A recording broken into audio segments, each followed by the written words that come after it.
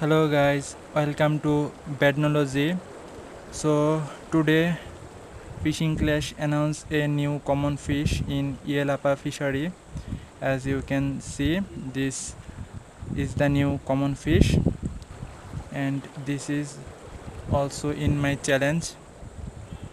So let's try to catch it without having its lure. And if you are new here please do subscribe and become a part of our little family and now let's go. Let's try to catch this fish.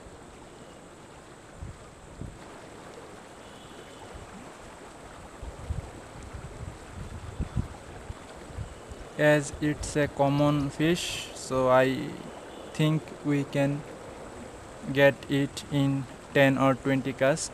Let's see how many casts it takes us to catch this new fish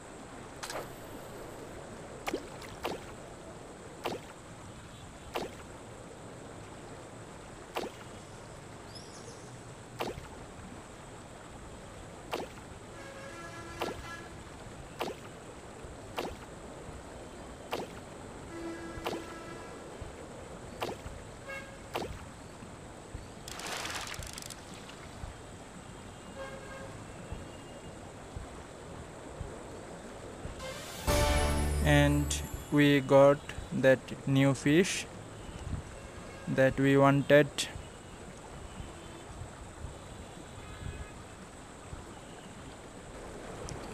And that fish also ranked 5th in current challenge.